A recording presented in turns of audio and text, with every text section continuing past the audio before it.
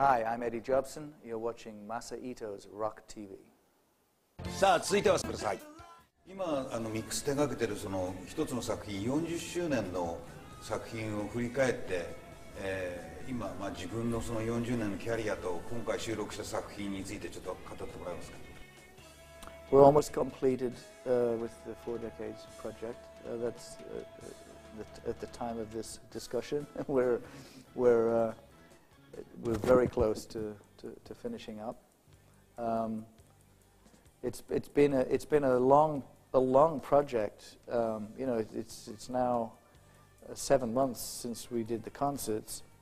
And um, a lot of the reason for that is, is just that um, I realized once we'd done the concert and once it was filmed and once I was back in my home studio, like looking at, the, at everything, that, that, that this, this, this, this was capturing my entire career. you know, this was, th- th- th- this was music that other people will probably not get to hear um, live at any point, and, and many of the people who watch this will will not have uh, even ever heard maybe the Curved Air album, or never heard of Ro- Roxy, or never heard. So, so, so, in terms of like creating something that is going to be uh, capture my legacy, I think I think we've ended up with something, you know, quite good. And it was a difficult thing to do. It was very hard to to to to to to, to pull pull all of that together, you know.